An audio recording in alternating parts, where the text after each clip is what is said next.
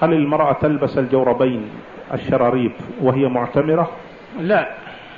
ما دامت محرمة لا تلبس الشراريب على اليدين. أما على الرجلين ما في مانع. إنما شراريب اليدين لا. نعم.